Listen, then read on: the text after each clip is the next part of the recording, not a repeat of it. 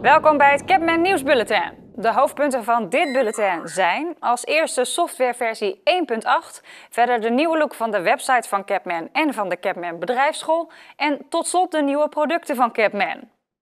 Het is zover, softwareversie 1.8 wordt op dit moment uitgerold in het land. En dat is de softwareversie waar veel bedrijven op zaten te wachten.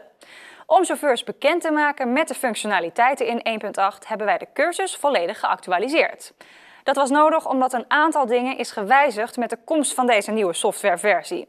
Zo kan er bijvoorbeeld bij voertuigen met datacommunicatie voor gekozen worden om de kilometerstand van het dashboard te laten bevestigen door de chauffeur. De kilometers worden dan verstuurd naar het agendapakket van het bedrijf. Maar ook wijzigingen in het activiteitenscherm, een melding dat het bijna tijd is om de datacommunicatie te autoriseren en de mogelijkheid om een opmerking toe te voegen in het betaalscherm. En dat is zomaar een greep uit de nieuwste snufjes van 1.8.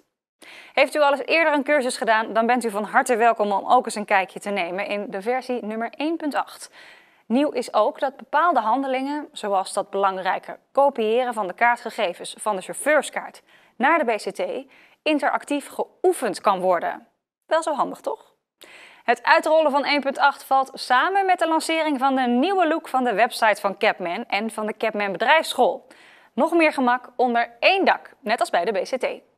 Handleidingen en release notes zijn makkelijk terug te vinden en te downloaden, evenals interactief oefenen en een online shop waar ook de nieuwe producten van Capman te vinden zijn.